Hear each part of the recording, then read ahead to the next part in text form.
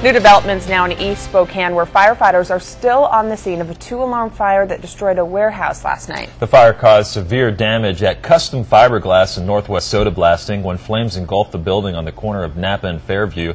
KXLY4's Cheriston Ramsing is there live with an update. Good morning.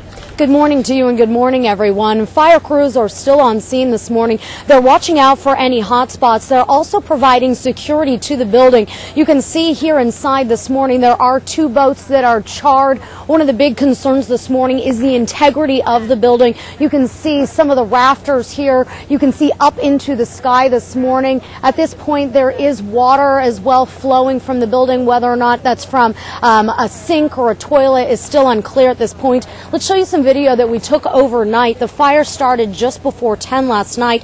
Firefighters called in a second alarm even before they arrived because they could see the smoke and flames on their way to the fire. Flames were shooting through the roof when trucks pulled up.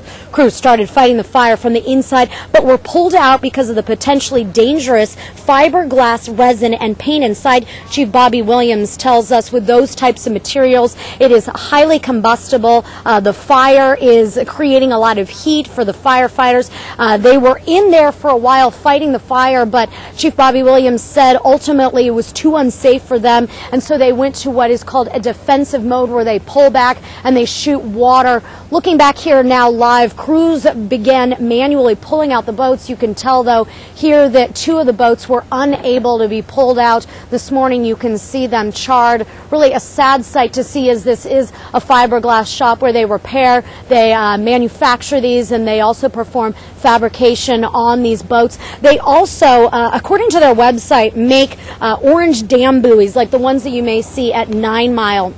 Northwest Soda blasting is also in the in the adjoining building. Now, right now, a cause is under investigation. We're told by fire crews earlier on this morning that fire investigators will be back on scene once daylight. Uh, at this point, though, it is still too dangerous for fire crews to actually go inside the building because of the structural integrity. Mike Kalai.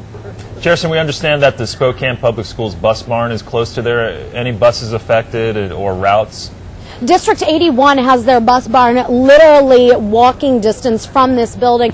At this point, no uh, buses were damaged and buses should be running on schedule. Another thing to mention this morning, this is just a block away from the Whitley fuel fire. And so this neighborhood is now all too familiar with seeing these massive flames in this industrial part of town. Back to you.